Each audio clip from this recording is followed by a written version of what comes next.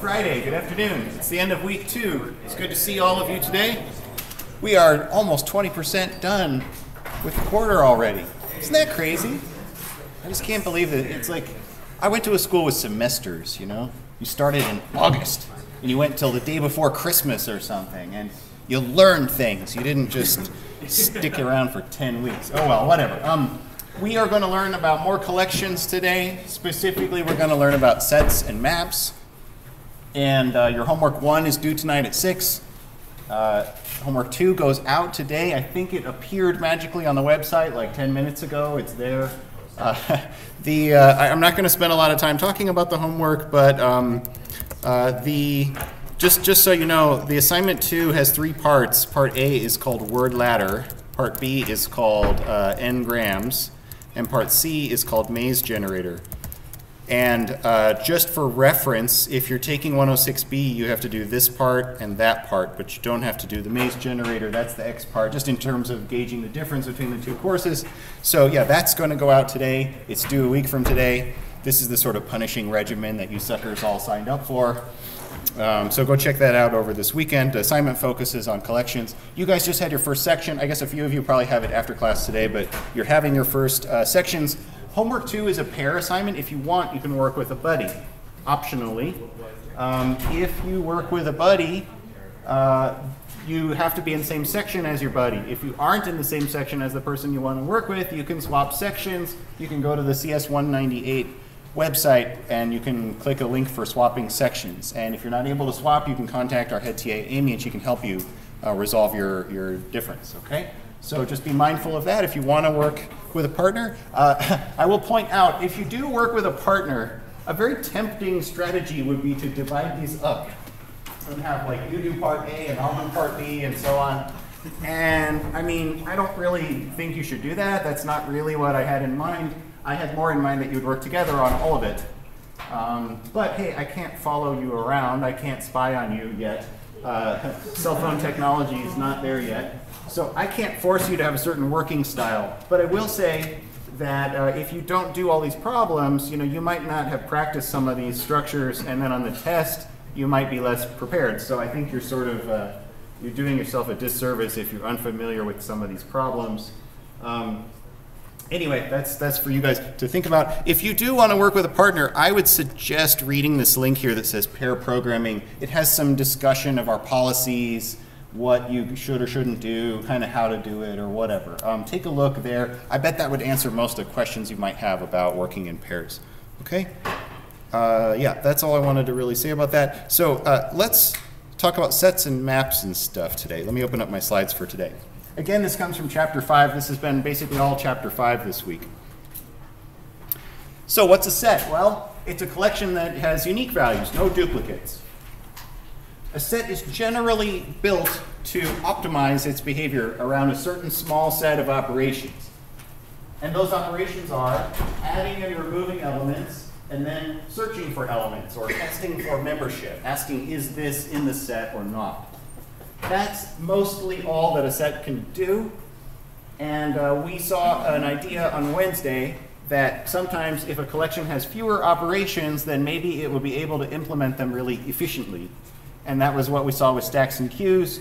Um, and that's also going to be the case here. You can also add and remove and search for things in a vector or a linked list, but it won't do it as quickly as this thing will. Hopefully I can show you that in a minute. So uh, one of the main things that you give up when you have a set is you give up the notion of indexes and um, insertion order.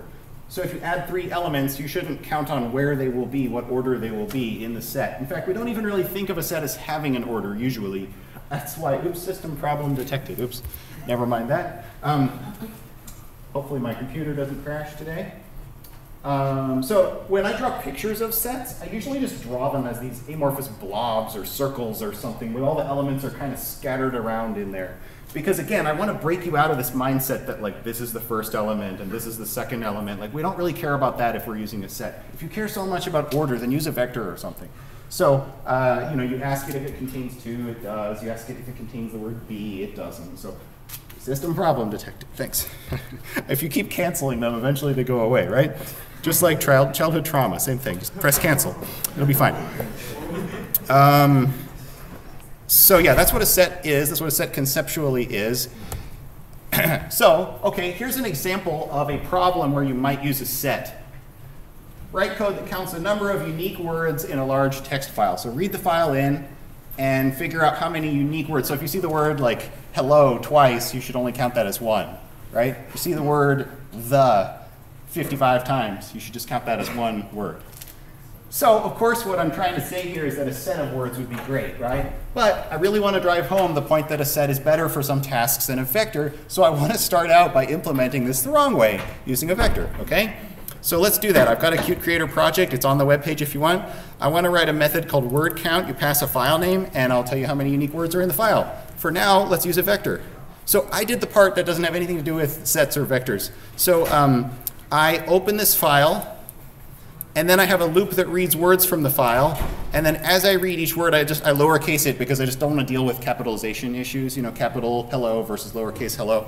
So now um, it says to do. So let's make a vector of the words. And again, this is the wrong implementation. Vector of string words. Okay. And now here I'll just say words.add words. Words.add word. That's not quite right, is it? What am I missing in this uh, part of the code here? check if it's there already. I shouldn't add the same word twice, right? Okay, so how do I see if it's already there? Like if the vector contains or something. So okay, if words dot contain, there's no contains method. That's weird. Dot find, there's no find, huh. Well, who designed this dumb vector? Whoever did it must have made a big oversight and forgotten to include a method to search a vector for a word. Well, that's okay. Um, I want to help us out. I have written a method function called contains. You pass a vector and you pass a string, and it'll tell you if that string is in the vector. So we can look at how I wrote that in a minute. I'm really good at programming. So um, if contains words, comma, word, or I guess if it doesn't contain, right, then add it to the list. Okay, so if we assume that my magical function works, then that would be good. Okay, so now when we're done, it says int count of words equals zero, but it's not count, right? How many words are in the file? How do I know the number of unique words in the file?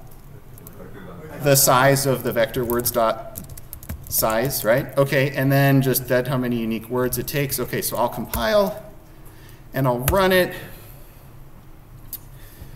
And so, you know, how's everybody's week? How's everybody doing? Um, hmm. So I, my wife and I just recently discovered we really like this show, Rick and Morty. It's pretty fun cartoon. and we, I don't, I don't know anything about the plot or anything, so we've just been watching through it. And last night we get to this episode called Pickle Rick. and it's like the whole episode he's a pickle. And he's trying to, you know, he's getting eaten by cockroaches and birds, and he's baking in the sun. And it's like this guy's a pickle for the whole episode, and it was just the most zany thing. We had a really, really cool time watching it. And I really think it's one of my favorite new cartoon shows that, oh, it's not, okay. okay, so there's 30,000 30, words. Um, it took 42 seconds. I had to kill a little bit of time there talking about my interesting personal life. Um, now, it's not, that seems like that's kind of a bad runtime, right? But I don't know, is it? I mean, maybe that's just how long it takes. Maybe this is just a really computationally intensive task that just takes a long time to perform, right? Any thoughts? Why do you think it takes so long? What is it doing that's so slow when it's running this code here? Uh, let's see, who have I not heard from? In the back, yeah. The method you wrote contains has to iterate over all of the elements of words. Uh, so it's O of n in the size of words. So as you reach adding um, as you reach the end um, of, of all the words you're checking, it will take longer and longer and longer, and then um, and then and then that's why it, it takes uh, that long. Yeah, I think that's the right idea. Um, although I have to say, I'm a little offended. It sounds like you're implying that I didn't write this function very well. and you know I don't take criticism very kindly. So let's, you said you think that my function looks through the vector. So let's look. Here's what the function does. For, for each string in the vector, if that element is the string I'm looking for, then yes, I contain that word. And otherwise, if I get to the end, I say false, right? So that's called a linear search. Just look through the vector for the word, right? So every time you go to look, every time you read a word from the file, I have to call that function. So every single word, I walk through the whole vector, right? Now, you might say, oh, Marty, your implementation is dumb. You should do this or you should do that or whatever. But I'm just saying, like, that's typically how a vector would be used to solve this problem. It took us about 42 seconds to solve it, right? Okay, well, um, there is another way. And that way is to use the set structure. There's, a, um, there's two kinds of sets in C++ in our library. One's called a set and one's called a hash set. I'll talk about the difference in a minute. Um, in fact, don't even read this yet. There's a structure called set. if you if you include set.h, you get a collection that has these methods: add, uh, remove, and contain. Those are the three main ones. It also has is empty in size and clear, and you can print it with a less than less than. But that's kind of standard stuff. So look, let me just spoil the the um, the good times here, the, the, the, solution to this here. So if I go up here, instead of a vector of strings, if I make a set of strings, do I import the set library? Yeah, I did. Okay, so um, I use a set of strings, and I compile that. It doesn't like this line of code anymore because this function asks for a vector parameter, and this isn't a vector. So if I just change it, the set collection actually has a contains method. So now I can just ask the set to do that. So remember, it took 42 seconds before. And okay, it took 300 milliseconds that time. So that, that is better. Well, I, I, I'm, I'm going to have to tell you about Pickle Rick another time, I guess. Uh, that's the thing. Sets give you a little less of a break. If you like taking a break, maybe you're more of a vector type of a person. Um, it's a lot faster, right? So I, I hope that that that uh, demo kind of illustrates this big difference of these two in this particular sort of a task. Now, I've stacked the deck. I picked a problem that set was going to be really good for, but there are lots of problems like this. So let me back up for a second because I said that there was a slide I kind of skipped over. There's two kinds of sets in our library. Remember what I taught you before about um, how there's more than one way to implement the same operations? I had a term for that, do you remember? Not redundancy. uh, I called it ADT. I heard somebody say that. Abstract data type. Yeah, there's kind of two collections that have the same operations. There's one called set, there's one called hash set. If you're a Java person, there's one called tree set and one called hash set um, that's similar. So the difference between these two is that there are different implementation internally. The regular one called set is built using a structure called a binary search tree. We will learn about that later. Um, it's pretty fast it stores its elements in a sorted order, like alphabetical order or numerical order or something like that. Uh, the other one is called a hash set. It's built using an array, but the array is being used in a special way where we call it a hash table. I'm going to talk about that later in the course also. The ordering of a hash set is a little bit unpredictable and hard to understand, but it's a little bit faster than a regular set. Um, so I guess if you're curious, I, what did it take 300 some milliseconds before? If I say hash set here and I run it, it takes even less time, slightly, uh, a little bit less than the regular set. So, um, okay, so there's two sets. You might say, well, the hash one is the better one, right? But I think this order issue kind of comes up because sometimes you want to concern yourself with order and sometimes you don't. So you might sacrifice a little bit of speed to get the sorted ordering of, of uh, this one. Yeah. Do you still need the contains operation if you're using the set? That's a good question. Um, here in the code, I'm saying if the word set does not contain this word, then add the word. But actually, I didn't spend a lot of time on the slide, but the, the adding method of a set, it will not permit a duplicate. So if you try to add a duplicate, it will silently just ignore it. So I can just say words.add word without fear of damaging the data. I don't think we'll see a difference really in the runtime. It doesn't take very long to call contains on a set, but I, well, I did save a few milliseconds, so I trimmed that runtime down just a little bit more. So yeah, you're totally right about that. Uh, question, Richard? Yeah. So uh, how do you access the sorted order of set? How do you access the sorted? Oh, I'll show you in a minute. Uh, you can do a for each loop over uh, a set. I would say for many situations, we don't care much about the ordering. For many situations, we just want to test for membership and we don't want to like loop over the set, but it depends what we're doing. Question? Uh, we saw that the hash set implementation was a bit faster than the set implementation.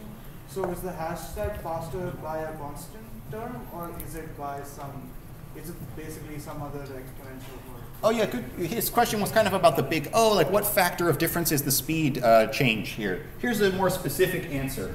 Most of the methods of the, the regular set have a log n runtime. And most of the methods of the hash set have a constant runtime. And it's probably not very clear why that would be the case. Uh, here's my one sentence version, and I will write you an IOU for a better explanation in a few weeks when we crack these open and re-implement them ourselves. This set kind of divides its uh, elements into this thing called a binary tree where it keeps splitting, splitting, splitting in half. And when it searches, it sort of goes left, goes right, goes down one of these halves or the other. And so it's constantly like dividing the search space in half to find things. And when you're constantly dividing or multiplying by two until you get to an endpoint, that tends to be what we call logarithmic behavior, log base two behavior. Um, the hash set has magic inside. It has a magic lookup function where you say, hey, string, are you in the set? And its set is really a big array. And the magical uh, hash function algorithm says, well, if I am in the set, I would be in index number 1875. And so it jumps to that index and says, are you there? Yes, no? And that's all it does. So hash sets, again, I will explain this better later, hash sets have magic algorithms that sort things into very specific locations and have fast lookups for those locations. It's a really cool algorithm. I will teach you about it later. For now, I just want you to understand kind of what these do when you use them, how to be an intelligent client of these structures. Um, so add, remove, contains, that's basically what you get. They're both really fast. I think when I was a student and I learned about this equivalent kind of thing, you know, it was on a stone tablet instead of a projector back then, but uh, that was 1999. So uh, when I learned about this, I was like, oh, dude, big O of one, totally better. Log n, ew, gross, that sucks. but like, log base two of a number is not very much. Like, you know, remember, this is like how expensive, how slow the thing is, how fast it grows. So like, What's the log base 2 of a 1,000? It's roughly 10 or 9. It's, it's uh, 2 to the 10th is 1,024. So if you have 1,000 elements, it has to look at like 10 of them. What's the log base 2 of a million? It's a 1,000 times a 1,000. 2 to the 10th times 2 to the 10th, 2 to the 20. So if you have a million elements in a set, the set has to examine 20 of them. That's not so bad. If you have a billion elements, 30 trillion elements, 40. It's not that bad. Log n is not that bad. Don't worry about it. These are both very fast. Okay, so those are the two kinds of sets in our library. There are equivalent structures in the um, STL that comes with C++. I'm not going to teach you those today. Um, sets also support operators. C++ has this cool feature called operator overloading where you can describe operators for a data type if you want to. So you can actually um, not only can you ask whether two sets are equal, which will tell you if they have the same elements as each other, disregarding order, doesn't care about order.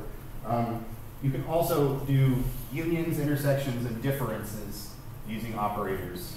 You know, uh, you know, union, you take the elements that are in either one or both, combine them together. Intersection, you keep only the elements that are in both of them. Differences, you, you have set A and you difference it with B, which takes out of A anything that was in B. I don't know, all that kind of stuff. So set, standard uh, set operations work using these operators. There are also method versions of these. I think there's a dot union method and a dot intersection method and so forth. Yeah. Are these union and uh, intersection operators only for the Stanford local library or also for the STL? Uh, I believe these are Stanford only.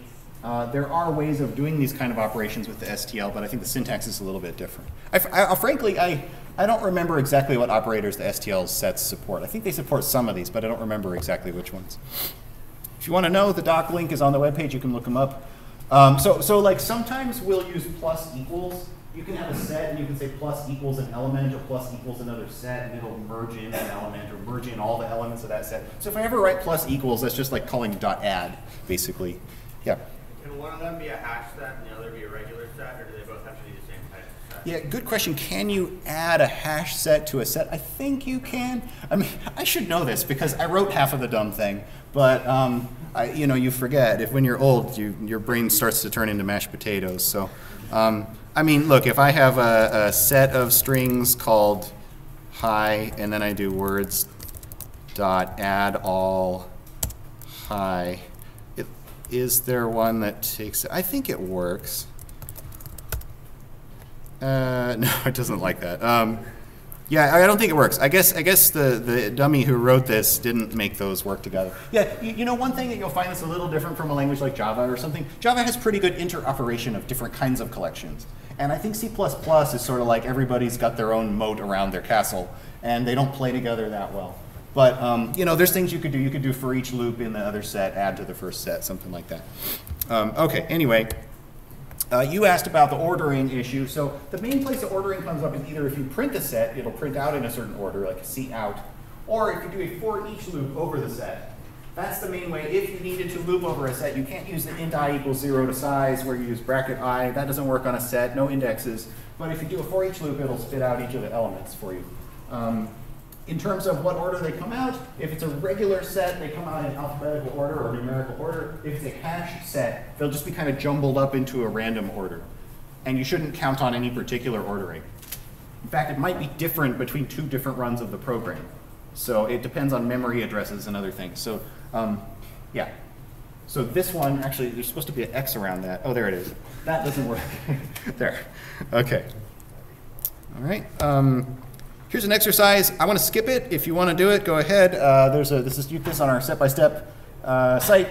Basically, you can use sets to keep track of numbers you've seen before, and you're trying to find a happy number where you sum the, the digits. Uh, I, am going to skip it, but because I don't have enough time. But go do that on step-by-step if you want, or do it on the on Qt Creator if you want. Um, so wait, what else? I'm doing structs here. So let's talk about structs. Uh, I I'm not going to spend a lot of time on this, but C++ allows you to create new types. You know, in Java, you can make a new class. Most languages, you can make a new class or a new object or something like that. Uh, C++ has classes. Their syntax is sort of icky, and so I don't want to talk about them yet. But you can do a lot of the same kind of stuff with a C++ class that you can do with a Java class or a Python class or whatever. Um, C++ also has a similar thing called a structure or a struct. A struct is basically a class, but it's typically only used to store a couple of variables. It's a class that just stores data, usually. It can do more, but it mostly is used in this way. So if you make a struct called date, and you store a month and a day in there, this is a template for a new data type. And each date object you create has a month and a day stored inside of it. This is a class with no constructor and no methods, but just two instance variables or two fields. So now you can say date today, and you can set its month to 7 or say to 13. Or you can create it with brackets, and the values in the brackets will be used to initialize the two, the two fields. Um, so, I mean, why am I showing you this? I, it doesn't really fit with what we're talking about right now, but I think one thing that's kind of interesting is when you try to put structures into a collection like a set. Uh, oh, you have a question. Go ahead. Yeah. Um, are struct like data? Um, is it indexable with with like a, an index? Because Indexable, like, oh, the month is bracket zero or something? Yeah. Given that like No, it doesn't support indexes. This syntax is just special initializer syntax. If you put values in curly braces, C++ in the 11 edition, 2011 edition, they added what they call the universal initializer syntax, which means you can initialize almost anything by putting curly braces and then writing out the values that constitute that thing's data in order, in the order they're declared, with commas between them. So that's why vectors let you do that, and structs, and just any kind of thing, almost any kind of thing now can be initialized in that way, which is a nice step up for the language. So um, the reason I'm showing you this, again, I think it feels like I just took a swerve in the middle of the lecture here, but if you wanted to make a set of dates, like, oh, these are the important dates on my calendar or whatever. So imagine I had a class struct date, and in here I have int month and I have int day. I mean, you could have whatever, you could have int year, you could have as many fields as you want, but now in here, if I made, you know, date uh, Xmas 1225, and then I said date B day, my birthday is 919, uh, then, you know, if you just make those date objects, that's underlining them because I'm not using them yet. But if I said I want to make a set of dates uh, calendar, and then I did calendar.add Xmas and calendar.add B day, I would get a strange error. It says blah blah blah blah blah blah blah. No match for operator less than operand types are const date const date. This is a great example of C++ compiler errors are hard to understand sometimes. Uh, the, the human explanation of what's happening here is that a set, I told you before, that a set likes to sort its elements in order, and a hash set jumbles them into unpredictable order. So when you say you want a set of dates and you want to add these two, the set is trying to figure out, like, how do I sort them? And you might say, well, it's obvious. September comes before Christmas, or, but the C++ doesn't understand that yet. So in order for a data type to be able to be put into a set, you have to write something called an operator less than function that takes a date and a date and tells you whether the first one is less than the second one or not. And this allows the set to understand how to compare them for order. This is an example of something called operator overloading. What I'm doing, I don't know if the syntax is really mysterious, but I'm saying I want to define new operator usage of the less than operator. It's going to return a boolean because less than is always a logical operator. And the arguments on the two sides of the list that are going to be a date and a date, although I'm writing them in as references to dates so they don't copy over, and const references because I'm not going to change them. Uh, yes? Can you make your own operators this way, like use the at symbol or something? You can, there's a list of operators that you're allowed to overload. I don't remember exactly what's on it, but it's a frighteningly large list. You can override like what a comma does. And it's quite fun. You can override plus to do subtraction. And so like when your friend sneaks away and they're not at the computer, hee hee hee, define, you know. And then they're like, what the fuck? One plus one keeps giving me zero. What is this? It's so fucked up. It's great. It's C++ pranks, uh, yeah. Could I make it not return a Boolean? I don't know what happened. I think you have to follow the syntax header of the operator. I don't know if it lets you, I mean, C++ lets you do some awful, awful things, you know, but you shouldn't always do them. Uh, just to show you real quickly, I see there's another hand up, one or two, but just real quickly, if I say bool operator less than const date reference date one, const date reference date two, how do you know if date one is less than date two? Well, whether date one's month is strictly less than date two's month, or uh, if the months are equal, uh, and day one's day is less than day two's day. That those would be the conditions under which day one would be less than day two, right? So uh, that's a less than operator. Now what I'm hoping for is that my set will allow me to store these things. Dates are uh, calendar endl. It didn't compile. Oh, oh because uh, now it doesn't know how to print a date because it has no less than less than operator for a date. So if you want to do that, that's oh god, I don't want to talk about this. Uh, uh, operator less than less than that takes a const date reference d and it uh, oh wait, you have to pass an output stream out. Oh god, this is horrible. Out uh, d dot month slash d dot day return out. Okay, gosh. Uh, ugh, never. No, we'll talk about that some other time. But if you want to make something printable, you have to override what the alligator operator does with that type. Eh, never mind. So I run this and it says dates are Christmas and birthday and Christmas. Yay. So all that. Anyway, I didn't really want to teach you about that. I guess the reason I mentioned that, oops, where did it go? Oh no, I closed it. Sorry. The reason I showed you that is because it's pretty common that um, once you start using sets, you want to store your own kind of stuff in a set, and then you get these weird errors, and I wanted you to understand why and what's going on and how to fix it. Yeah. What about strings? How does it store strings? It stores strings. Strings are fine. You don't have to do this stuff for strings. Uh, it sorts them by ASCII ordering, which is basically alphabetical, but it's case sensitive. Another question. Yeah, Teal, sure. So, do, do the Oh, do they have to live in the same file? No, they follow the same rules as like other files where you can include other files and then they'll see the, the operators and stuff. Yeah, I haven't spoken much about, about multiple file programs, but yeah, that would be what you would do. In the back. So it seems that there is no such thing as a default sort of function being assigned to these symbols, basically. Yeah, unfortunately, it doesn't know what to do unless you tell it. You wish it would just look at the months and then look at the days, but I think, frankly, I think that might cause more bugs than it solved because you'd say, oh, it's doing the wrong order. I don't know, like, it, it doesn't, it doesn't want to make an assumption. It makes you tell it what to do. And frankly, the syntax for writing classes in C++ sucks because you have to do all this. Just to even get going where it works for basic stuff, you have to do this kind of crap. And this was one of the first OO languages, and they honestly fucked it up. and so people like Java and Python, they learned and they made it better. And so this is kind of a cautionary tale of how to sort of not quite get an OO language right. Yeah, Richard.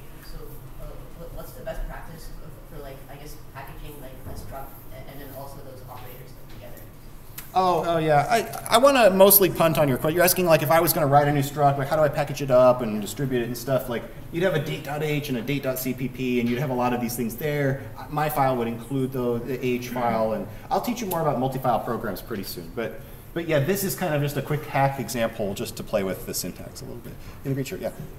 Why does the uh, output operator, why does it return the ostream? instead of just the- Oh, why does this return the O stream? I kind of don't want to talk about it. Basically, it just, this is so that I can chain these less than operators. Whenever I out less than that, that expression returns out. So I can use out for the next less than less than and chain them together.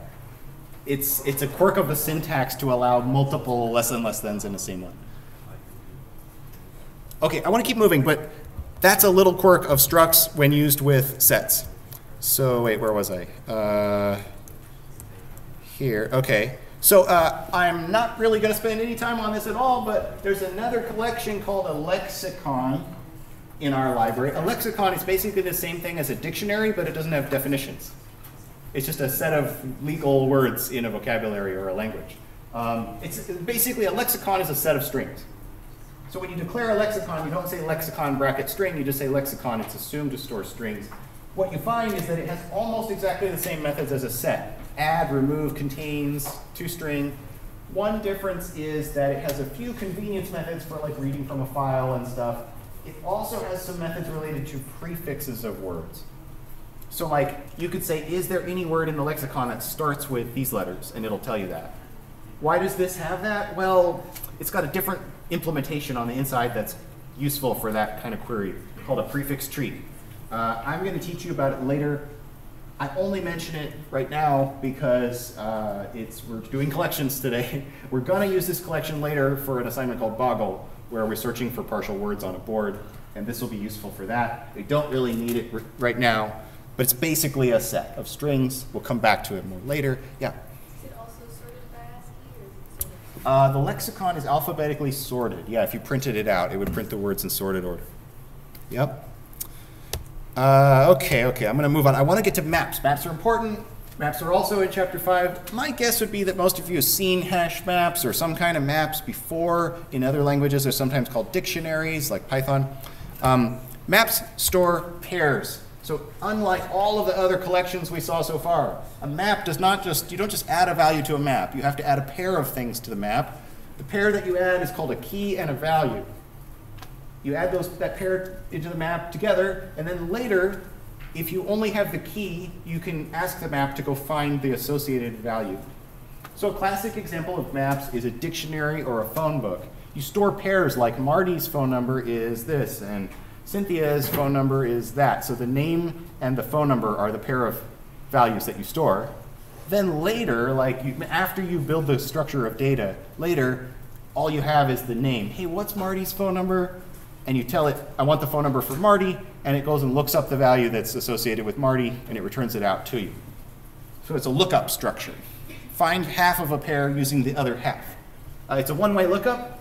If you want the person's name, you have the. You ever get this phone call from a random number? You don't know who it is. You want to know who the person's name is. Well, a map doesn't go that direction. If you stored it with the, the names on the left and the numbers on the right, then it doesn't allow you to get from a phone number to a name. It only allows you to get from a name to a phone number, uh, and so on. You guys have probably seen these before. Um, lots of real world examples. I think maps are one of the most useful data structures to be familiar with. Uh, so here's some of the core operations you can do with maps. You can put a key value pair in. This is like adding. Our library also allows you to use the square bracket syntax. This is kind of cool. Put Eric, comma, that number is the same as saying bracket Eric equals that phone number. This is the same, the equivalent syntax. So actually it's kind of cool. I, I think one way you could think of a map is it's kind of like an array, but the indexes don't have to be ints that start at zero. The indexes could be strings, they could be booleans, they could be doubles, they could be anything. And I don't know, some people like thinking of it like that, some people don't, but you store it at the index of Eric, you store the value back. So then later you can say, what is stored at the index Eric, and it'll tell you his phone. I don't know. Um, if you try to put in a duplicate, it'll replace the previous value. Uh, you can get out the value for a key. Uh, you basically are saying, please find me the value that was associated with that key. You can also use the square bracket syntax for that. So get me the phone number for Yana. That's my wife's name. Um, you'll notice, in the, I don't know if you can see this far down, but I have the same phone number as my wife Yana here. It's okay to have a duplicate value in the map. It's not okay to have a duplicate key. If you try to add another entry with the name Marty, it'll replace that previous entry. Okay? And so you can put, you can get, and you can remove. So yeah, uh, add, remove, and lookup. Those are kind of the three operations you need from a map. Yeah. So as far as the map goes, do all the keys have to be of the same type, or, or and do all the values have to be of the same type? Yeah, uh, all the keys are the same type as each other. All the values are the same type as each other, but the keys can be a different type from the values. So you can map from strings to ints or from doubles to chars or whatever you want. Yeah. So yeah, I mean, again, like I said, you store pairs and then later you have half the pair and you want the other half out again. I think some people have a little trouble. You guys probably get it, but some people have a little trouble understanding the idea here. Like, you know, if I have the whole pair here, why would I not have the whole pair down here? Why do I need to look this thing up? I just had it. Well, how did I forget it? Well, it's usually you read it in from a file. Maybe the program sits there prompting for a long time. You know, like you have the data, it just you you don't know where that piece of data is or something like that. It's for a long-lived process. Um, I also I didn't necessarily say this, but it's implied that this structure should be built in such a way to do these operations quickly. It should be able to put and remove and get things very fast. And it does. So guess what? Uh, in our library, there's a class called map that stores things in sorted order, hmm. and there's a thing called hash map that stores things in an unpredictable order. Hmm. That sounds familiar. So it's just like the sets, right? The same two types. And that's because literally the sets are implemented as a map from values to booleans of true. That yes, it's here, true. so they're, they're basically the same as each other in a certain sense on the inside. Um, and the same sort of logic applies. If you care about the sort of sorting and ordering of the data, you'd use a regular map. And if you don't care about that, you want a little bit more speed, you would use a hash map. And those things about storing dates or whatever, that would also apply if you were trying to store dates as keys in a map uh, as well. Yeah. Can the keys in a map be of a structure type? Mm-hmm. And then you have definable Yeah, the, the keys can be a struct, but then they have to have a sorting order. They have to have a less than operation. Yeah. So in a struct, what's it, uh, like, uh, how do you override the hash code function for a struct? Oh, how do you write a hash code? I'll teach you about it later, but in our library, you literally write a function, just a regular function, called hash code, that takes your type as a parameter and returns an int. And that int is to indicate a placement index where to put the thing in an array, basically. It's a little more to it than that, but that's the basic idea. If you're curious, open hashcode.h in the library, the Stanford Library. When it's in an unpredictable order, does that prevent you from doing a for each loop, or is it just that for each loop would just be unpredictable in itself? Yeah, this unpredictable ordering, both for a set and for a map, if you do a for each loop over the map, you don't know what order the pairs will be given to you, but you will get all of them exactly once. So you could loop over it, you just have to not be concerned with which one you see first and which one you see second and so forth. If you care a lot about that, you could use a regular map for that. Bless you. So uh, here are the methods. I already showed you the most important ones, put and get. There's also contains. There's also remove. There's some of the sort of standard stuff like is empty. All, you're getting used to some of these methods by now. The runtime here is exactly analogous to the regular set and the hash set. I think if you compared the two tables, you would find that they were almost the same as each other. Log for the regular map, O of 1 for the hash map, slightly faster. Okay.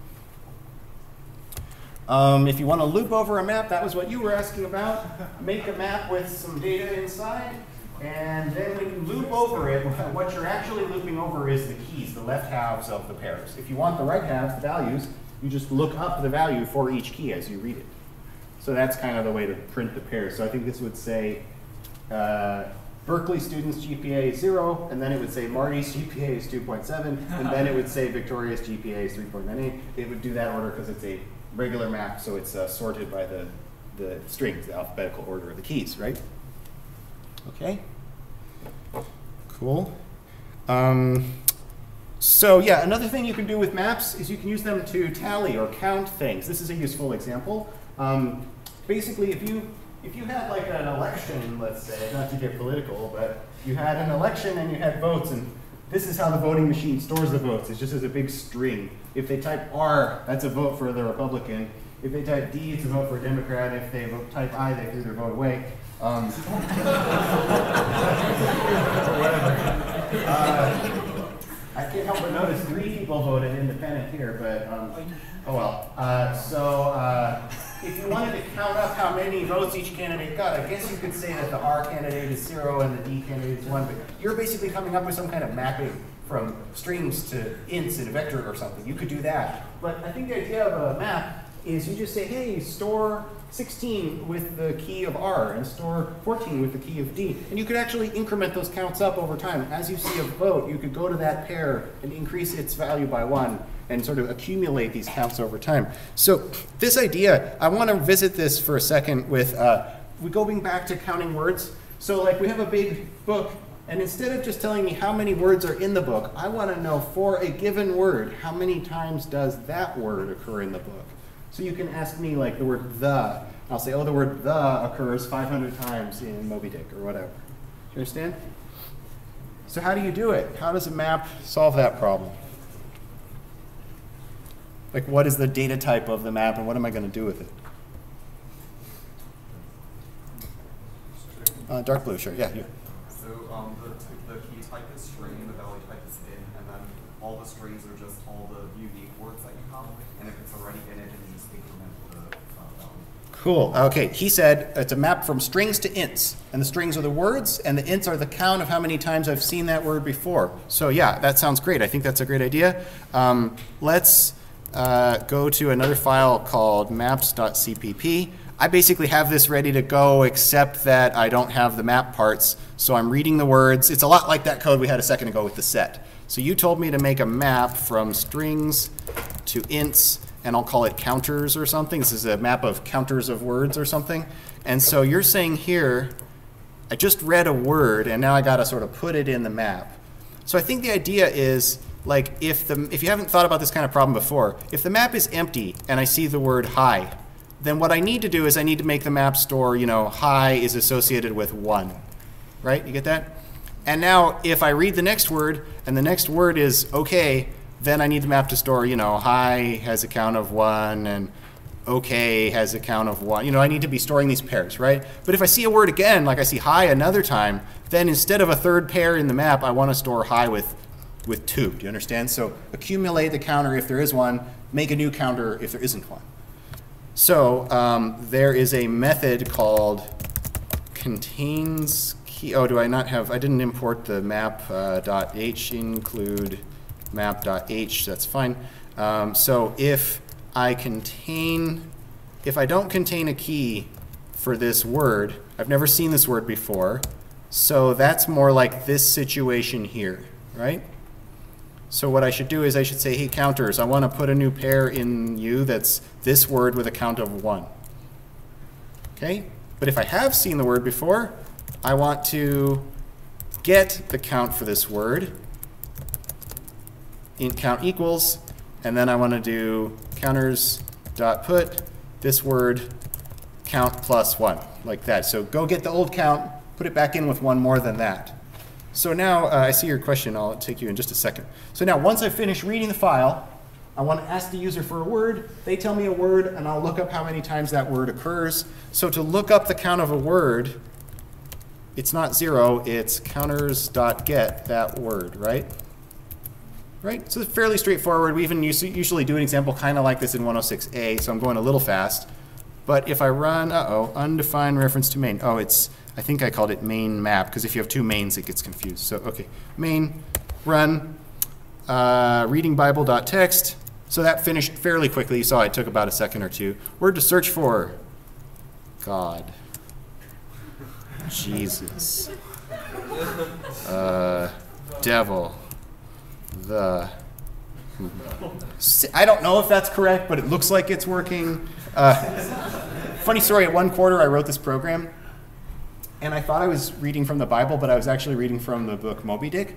And I was typing like God and devil, and it was like two, one occurrences. And I'm like, I thought God got mentioned more than a couple of times in there. this is weird. I don't know. Maybe this is some kind of new hipster version of the Bible where they call him the big G or something. I don't know. But. Uh, so this is mostly working. I want to point out there's a small, you might have been raising your hand about this. Uh, there is a small change you could make to this code. Um, one cool thing about our map structure is that if you try to go get a pair and there isn't a pair for that word, it will return some default zero-y kind of a value. And so you actually could just delete everything up, everything highlighted you could delete. You could just say, go get the counter. If there isn't one, it'll give you a zero. Put it back in with a zero plus one. So I could do that. And the other thing is, you know, instead of, oops, where was I? Instead of saying dot get, you can say bracket word, right? And instead of put word, you can say bracket word equals count plus. So you could, that's a little cleaner, right? So actually I could, instead of that, I could cut this and I could paste that. So now I'm down to one line. So actually I could just write that. so the whole loop goes to that. Um, and that actually works. It'll, if there wasn't a counter, it'll add one and it'll increase it by one. Um, now that's a little bit of a specific thing about our library. So this longer version is fine too. But um, you know, the short version is cool. So, yeah. Questions about this example? You might have seen one like this before. I just wanted to show you how to do it with our library. Yeah. Can you change the default value that you are assigning? Change the default? I don't think you can. That's a nice idea. Maybe someday we should add that to our library. But for now, the default is kind of the zero equivalent of that type. If it's a string, it would be an empty string. If it's a double, it would be 0.0, something like that. Um, I want to do one more example with you. I don't think I quite have enough time, but maybe we can kind of 106x our way out of this. Um, I want to talk about anagrams. So anagrams, you know, you rearrange a word, right? So let me jump to, I have a slide on this. So here, imagine, you know, I've got a file full of words, dictionary of words. I want to be able to type in a word and then print out all the words that are anagrams of it. So how do you do it? Well, I can read in my file full of words, and then somehow I need to figure out which ones have the same letters as each other, right? Well, I'll give you a hint. You could take the letters of a word and you could sort them by alphabetical order. And what do you notice about that? If you sort two words and they have the same sorted result, those two words are anagrams of each other, right? Okay, and let's pretend that I'm so nice I wrote you a sort letters function that takes a string and returns a sorted version of that string. So if you have that wonderful tool, how could I figure out the anagrams of a word? It's going to involve a map. What would the map store? Any ideas? Hmm? map from sorted words to like a lexicon of like words that sort the Yeah, I think you've got really pretty much the right idea. Like maps sort of maps are about looking up. I have this and I want that, right? I have this and I want these, right? So the map should maybe have strings as the keys and a group of all the anagrams of that string as the values. Now you gave me a couple important tweaks on that. You said don't make this guy be the key, make the sorted version of this guy be the key. Because then all of these guys have the same key and they all map to that set of of words as the value. I think that's kind of the right idea. Um, if I go to my anagram file here, um, I'm reading words. I want to make a map from strings, which are like these sorted words, to, let's say, sets of other strings